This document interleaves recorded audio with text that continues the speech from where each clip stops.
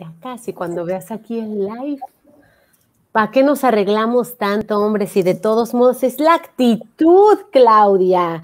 Y eso es lo que tú nos enseñas y eso es lo que tú realmente representas. O sea, que cuando una persona es segura de sí misma, muchas veces no hace falta que, que te emperifolles tanto. Decimos en México, emperifollar. En Venezuela también, emperifollar. Exacto. Bueno, saludos para todos los que están conectados. Claudia Arens es consultora de etiqueta, de imagen, la refinura, la señora de la palabra, la dama del buen sentarse y de cruzar la pierna cerrada, porque hay que estar siempre este, pues ser, ser una dama, ¿no? Y, eso te gusta a ti, aparte se te da. ¿Cómo fue, cómo fue entrar en este mundo y decir, en, el mundo de, la consultoría? Y de no comer chicle, ¿te acuerdas de ese cuento? Ah, podemos hablar del chicle más adelante, me encantaría, por favor. Bueno, gracias. gracias, Gina por invitarme. Estoy, por supuesto, contentísima de verte. Tenía rato que no te miraba. Mucho, ya sé. Contenta. Además es que me encanta tu genealogía, me encanta, me encanta. Así que me siento afortunada de estar en, uno de tus, de tus podcasts, de tus programas. Y bueno, con respecto a eso de que cómo entré a, este mundo, eh, mira, sin querer queriendo, porque eh, tú eres de origen mexicano y los hispanos generalmente en nuestros países, en Latinoamérica, eh, en, la América del Sur, por alguna razón se nos daba muy bien este tema de el respeto en la casa, eh, con la familia, cuando eso existía, prácticamente está, está ahorita erradicado. Eh, bueno, ahora con los encierros del COVID como que ya medio vuelto, pero el punto es que estas son cosas que se aprenden en la casa y que uno no se da cuenta que las está aprendiendo. Y de allí es que viene ese, ese darse cuenta cuando uno crece. Entonces, bueno, yo me, emigré, vine a vivir aquí a Estados Unidos, tengo más de la mitad de mi vida acá. Ok. Eh, me di, allí, allí de grande me di cuenta, todo lo que me enseñó mi mamá en casa me estaba sirviendo acá para progresar y para abrirme puertas. ¡Qué bueno! Son eh, aquí las personas no tomaban en cuenta ciertas cosas, perdón, que, que sí son importantes para que haya una armonía en la relación que tú tengas con quien tengas, con tu hermana, con tu esposo, con tus hijos, con tus colegas, porque definitivamente empieza en la casa. Total. Sí, es cierto. ¿Te empezaste a dar cuenta que la gente no tenía buenos modales? Un poquito. No quiero decir que aquí en Estados Unidos no haya modales, ¿eh? no me malinterpreten, pero me di cuenta a través de mi hijo mayor, que en ese momento era pequeño, y cuando los amiguitos venían a la casa, las mamás me lo soltaban allí sin conocerme. Yo pude haber sido un child abuser, pero ellas, confiadas, me, me dejaban el niño allí y veía que los niños tampoco tenían mucha educación, abrían la nevera, se pretendían llevar los juguetes de mi hijo. Yo decía, ¿pero qué pasa? ¿Por qué?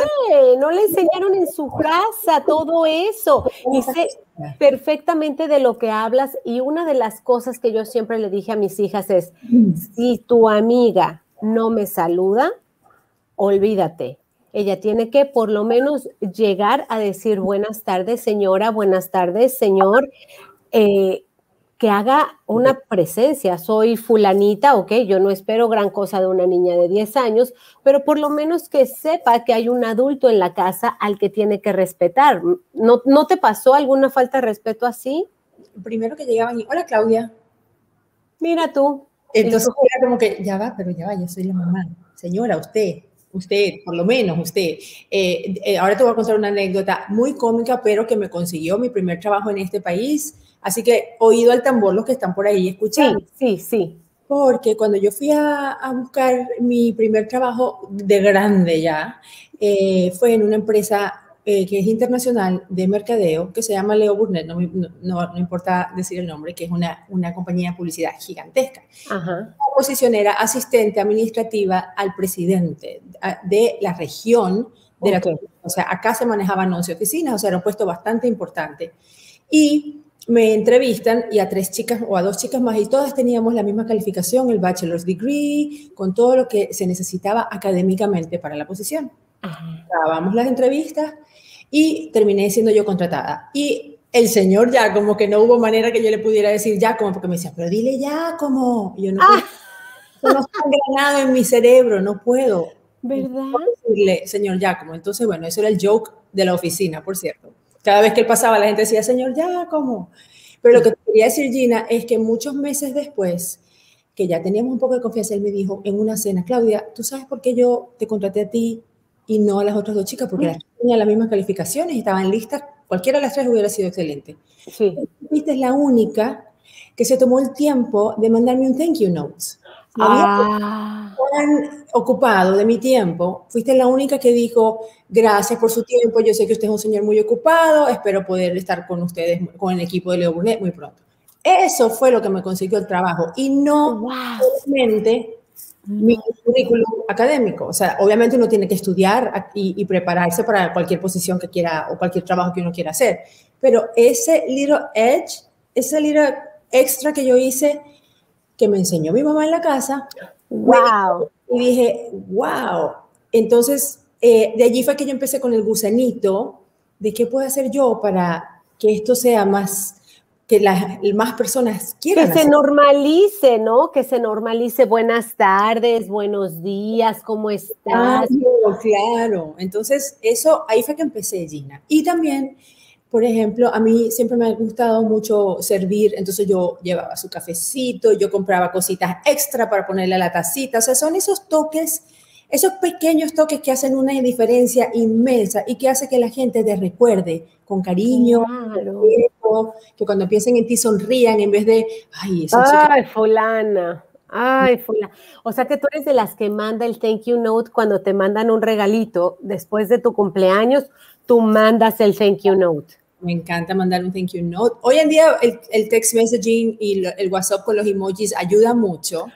Entonces, eh, si es eh, familiar, es el, emoji o los GIFs, que es súper, súper, súper cool.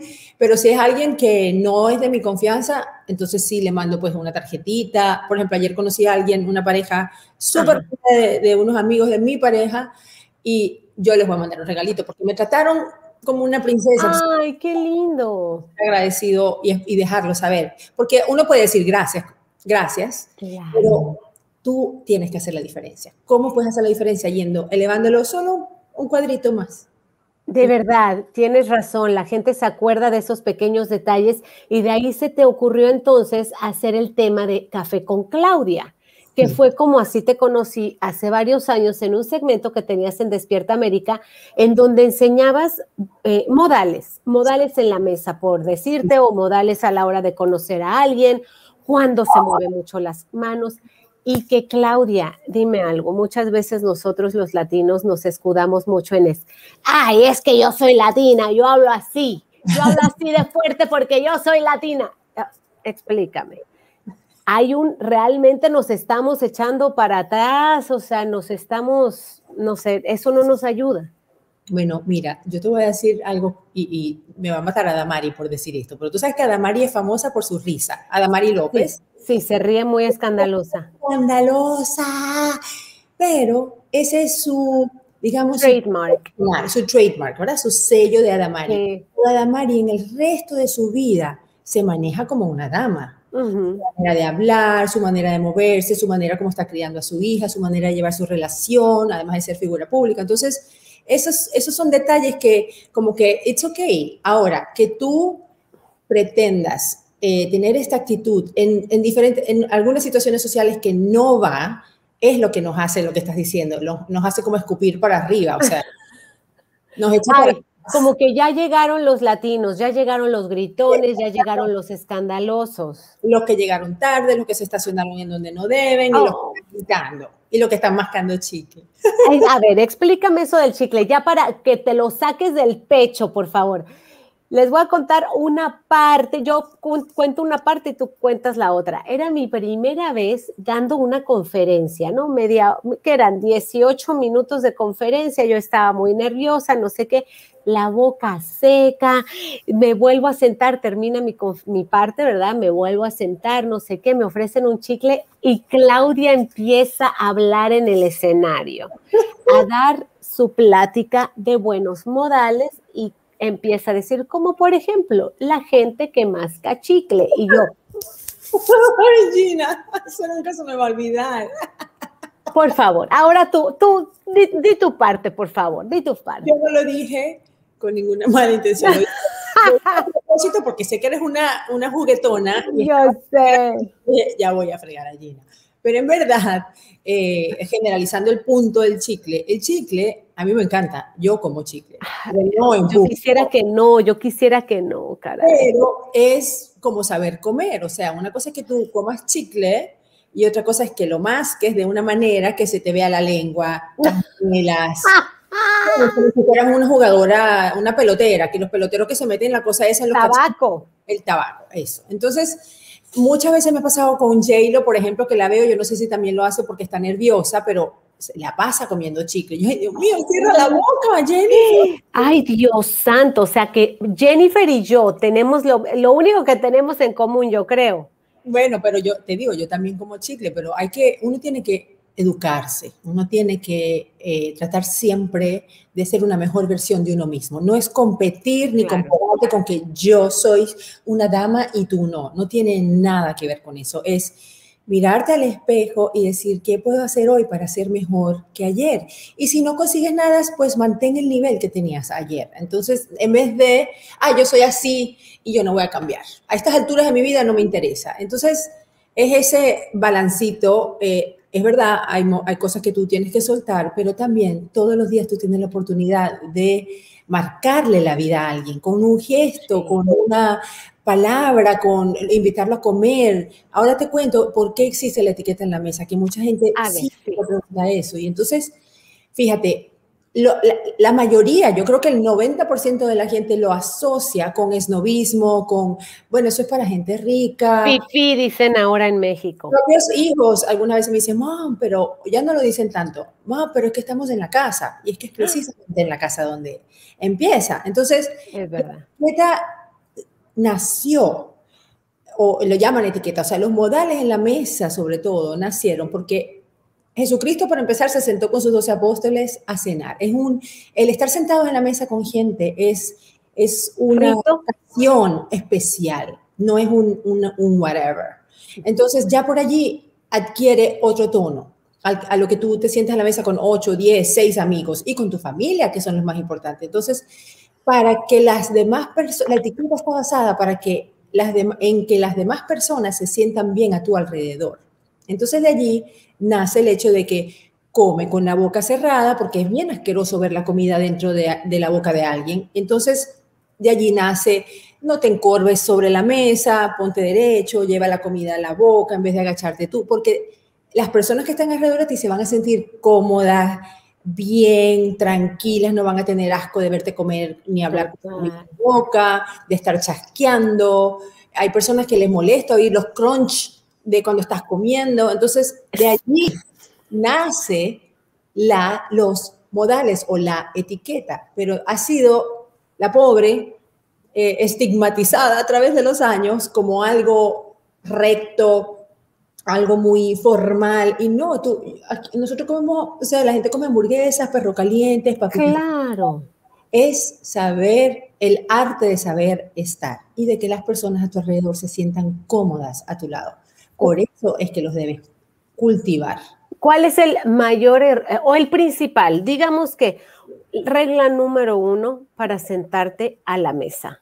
O sea, lo, lo básico, que para mucha gente puede decir, ah, mira, tú yo no sabía, pero, pero puede ser algo que demuestre tu educación, porque vamos a ser sinceros, a veces, con, y me ha pasado seguramente a ti también, que conoces gente que de cierto nivel, que pretenden, ¿no? Que tienen dinero, que, son de cierto rango social, pero a la hora de comer te das cuenta de su educación. ¿Te ha pasado? Uf, con, con abogados de esta ciudad de alto calibre que me he quedado, que no he comido porque me ha dado asco. Jura. De, verlos comer ensalada. Ensalada. Estoy traumada con las ensaladas en los dientes de la persona todavía y esto fue hace 15 años atrás.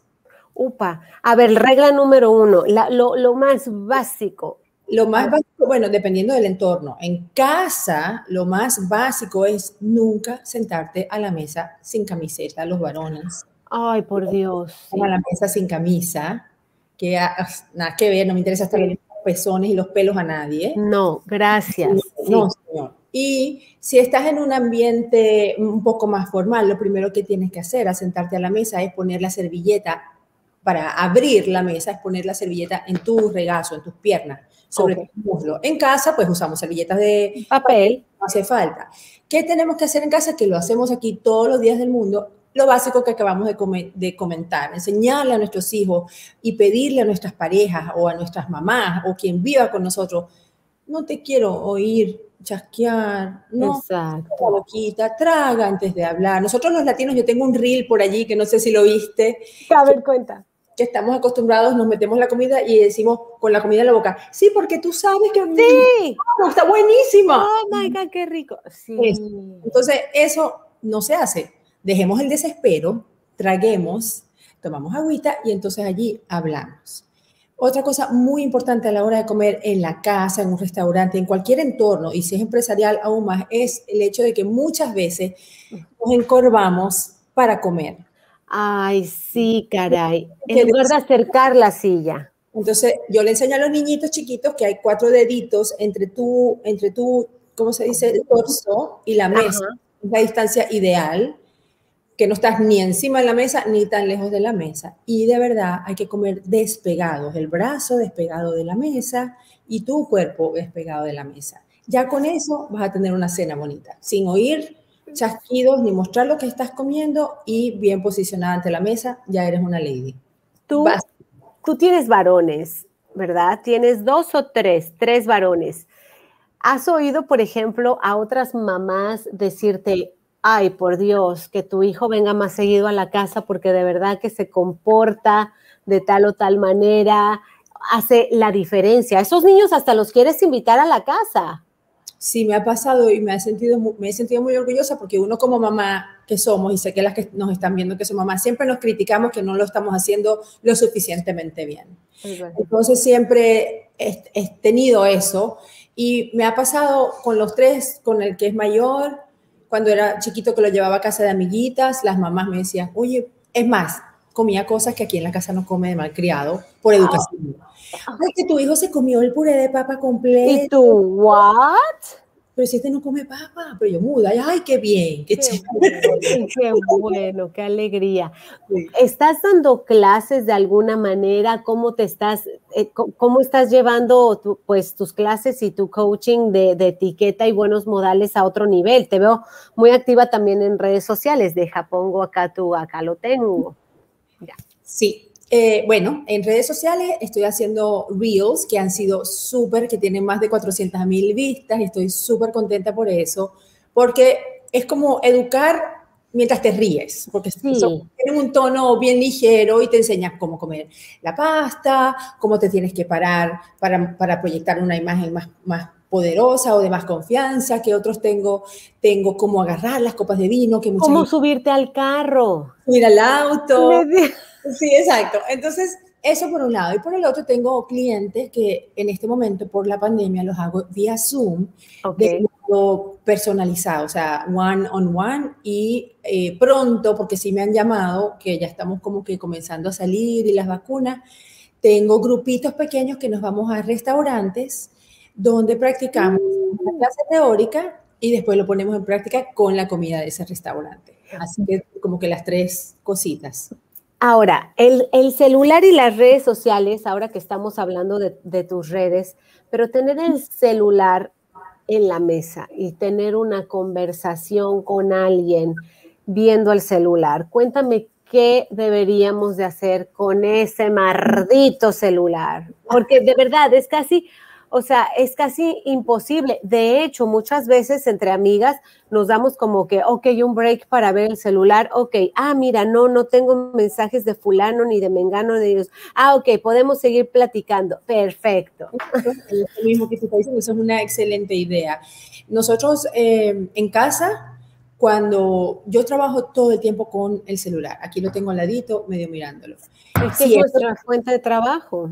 Sí, porque es mi trabajo, exacto. Pero cuando salimos eh, a cualquier lugar, el celular está aquí. No lo dejamos en el auto, por, no, he, no he podido llegar a eso.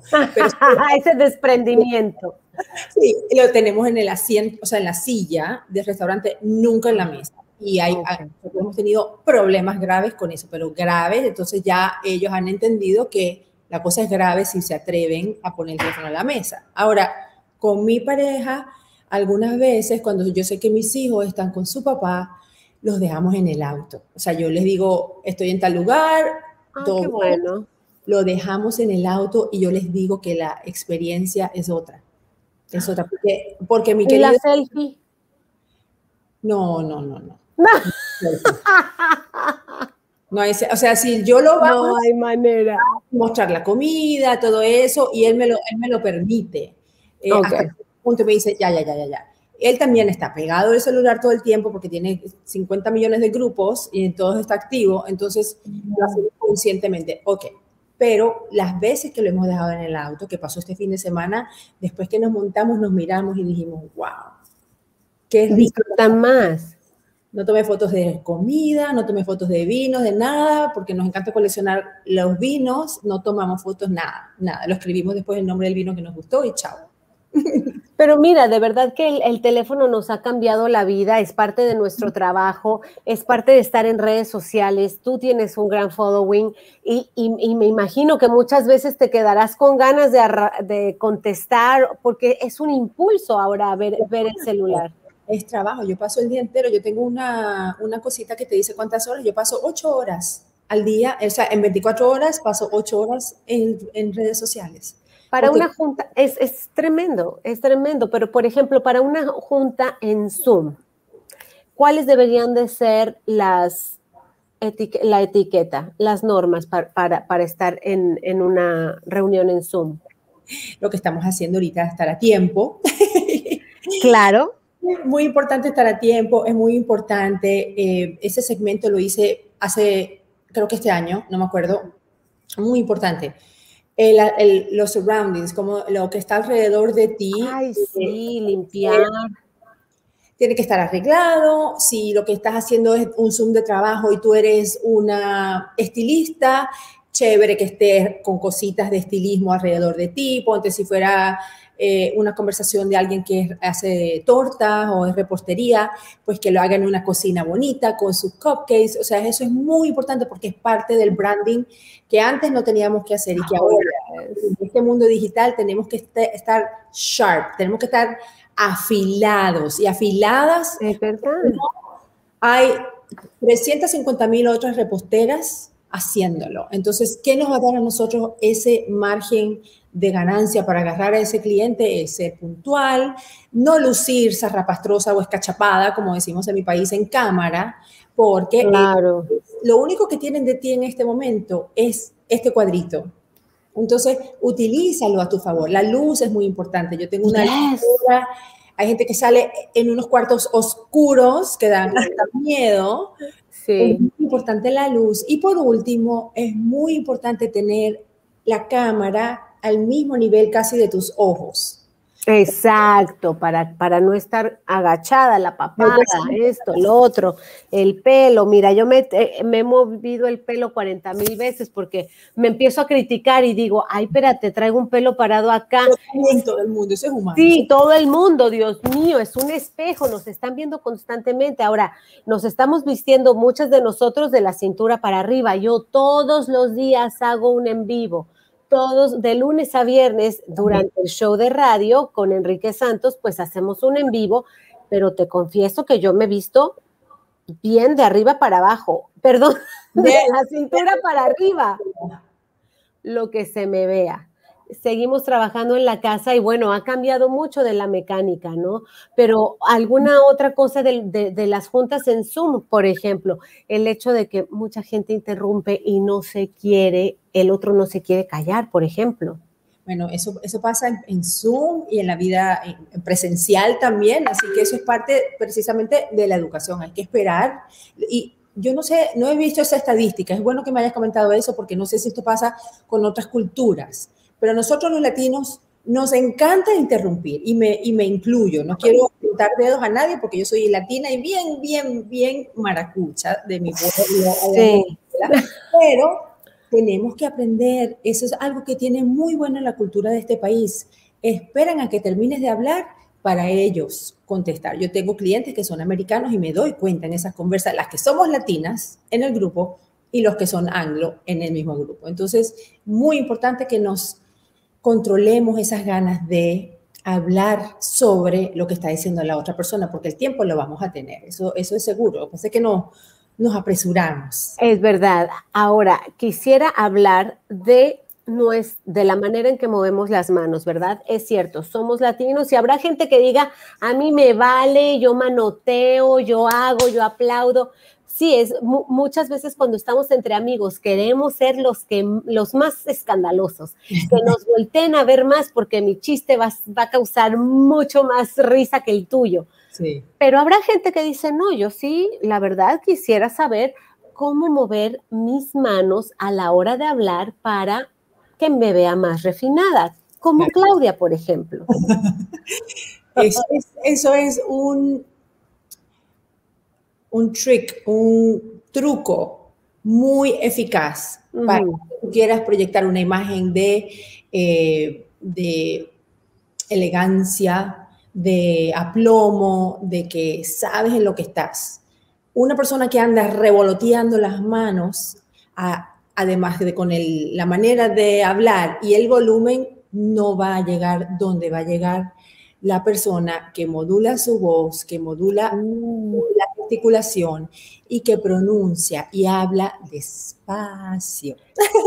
Esto tuve que aprender porque los maracuchos hablamos súper rápido y lo aprendí en Despierta América con la productora de piso que me regañaba y me decía, usted me está cortando las heces. Uh. Entonces, eh, es muy importante la gesticulación, las manos. Cuando ustedes ven hablar a Carolina Herrera o cuando ven hablar a eh, una persona, un sacerdote o ven a hablar a una persona que generalmente ocupa cargos bastante de mucha responsabilidad, esas personas son entrenadas para calmarse, para poder hablar con pausado, con elocuencia. Eh, el mismo Ismael Cala, mira qué lindo habla cuando tú oh, hablas él, tú quedas, ay, yo quiero flotando porque él usa sus manos muy bien. Es verdad. Eso es, chicos y chicas que están viendo, si ustedes quieren de verdad tener una ventaja sobre la multitud, esa es un área que vale la pena practicar. Y hay que practicarla todos los días, todo el tiempo, porque si te lo pones a hacer el día que te tocó, va a haber falso, van a decir, oye, ¿qué le pasa? ¿qué le pasa a ella? ¿Por qué está hablando de esa manera? Oye, ya antes de irnos, ya estamos casi, mira, pasaron, voló el tiempo. ya estamos casi 20 minutos. 28. Eh, las máscaras, los tapabocas, ¿verdad? Me ha tocado ver, por ejemplo, que llegamos al restaurante, te la quitas y están todos los tapabocas sobre la mesa. Ay, sí, qué asco. No, vayan a mi cuenta y ahí tengo ese reel también. Tengo el de la gesticulación y el del tapabocas. Por, hay restaurantes cuando son muy eh, finos o elegantes los restaurantes, ellos te proveen una bolsita que está en la mesa ya. Tú lo guardas, agarras, lo pones en tu bolsita y lo pones ¡Ay, qué fino! Y me he dado cuenta que he ido a un par y yo, ¡ay, qué bien! Que me parece, con la, incluso es una oportunidad de marketing para el, para el restaurante. La bolsita y tiene el logo y te acuerdas del restaurante. Ahora, en restaurantes de los que vamos todos los días con nuestra familia y todo eso, tenemos que enseñar a nuestros hijos, empezando por nosotras, de poner en la silla, si ese día no claro. Porque vamos a Burger King y nos vamos a sentar a veces, metemos en el bolsillo de nuestra ropa, de nuestros jeans, nunca en la mesa, porque eso está lleno de nuestro propio... Ponerlo... No, no. No, y aparte la mesa probablemente también tiene gérmenes, Claudia. Que te los va a volver a llevar. Sí, o sea, es un no, no desde cualquier punto de vista, no sé, no sé. no, no. Tenemos que volvernos a reunir, Claudia, porque hay mucha tela de donde cortar. Quedamos en que eh, movamos las manos ligeramente, no ponga el tapabocas sobre la mesa, no más que chicle este, donde haya gente. Más que chicle con la boca abierta y más que lo en la casa, más que cálmese en la casa. O una pastillita de menta en todo, en todo caso, en lugar del chicle. Sí, muy importante el aliento, eso también es importante. Otro día hablamos de eso. ¿Verdad? Ay, sí, por favor, hablemos de eso, pero ahora con, las, con los tapabocas, pues se ha mitigado un poco que le huelas la boca a la otra persona. Ahora te la hueles a ti misma y dices, ah, caramba, tengo que lavarme los dientes. Bueno, mira, todo esto que ha pasado ha sido grave, pero hemos encontrado... Oh my God y nos hemos reencontrado con las familias de alguna, de alguna manera diferente, eh, eh, por culpa no, o debido a. Debido a, debido a la pandemia. Te quiero mucho, Claudia. Muchísimas gracias por atender mi llamado. Nos vemos pronto y yo quiero volverte a ver para que cantes. Ay, cantemos, por favor. ¿Qué quieres cantar? Mentira, me toman la cosa esta. No podemos cantar, ¿puedes creerlo? Pero ya sé que eres pachanguera y me da muchísimo gusto que estemos hoy unidas y que estemos sanas, sobre todo después de tanto tiempo de no vernos. Un beso.